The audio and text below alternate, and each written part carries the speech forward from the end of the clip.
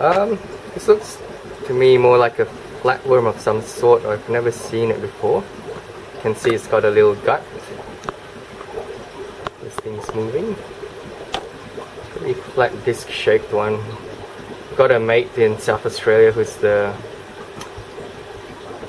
number one fish parasitologist in Australia. Uh, he should be able to tell me what this guy is. This has been definitely in from overseas, I think. Ah, I've never ever seen this before. This is quite freaky.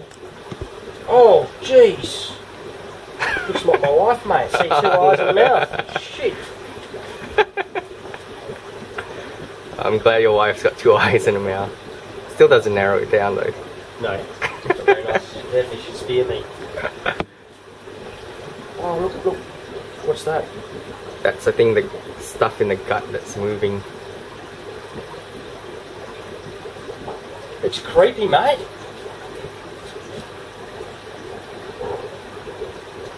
That is pretty cool. Could you see all of that with my thing? Uh, yeah, we'll put it under your scope and have a look. Oh, you can Do do you want to turn yours on? You